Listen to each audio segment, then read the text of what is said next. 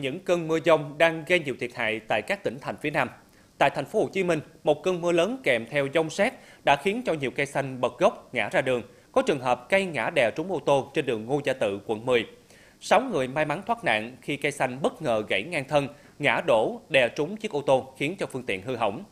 Theo thông tin ban đầu vào khoảng 16 giờ chiều qua, trời đổ mưa kèm với gió giật mạnh. Lúc này thì cây dầu nằm tại góc đường Ngô Gia Tự, Bà Hạt ở phường 9, quận 10, thành phố Hồ Chí Minh bất ngờ gãy ngang thân, rơi từ độ cao khoảng 20 mét xuống đường. Thân cây to rơi đè lên chiếc ô tô 7 chỗ đang chạy trên đường Ngô Gia Tự, khiến phương tiện hư hỏng. Phát hiện sự việc, người dân gần đó đã chạy đến ứng cứu, cậy cửa ô tô đưa 6 người trong xe thoát ra ngoài. May mắn là không có người bị thương. Ghi nhận tại hiện trường, thân cây dầu đoạn bị gãy có đường kính hơn 30 cm.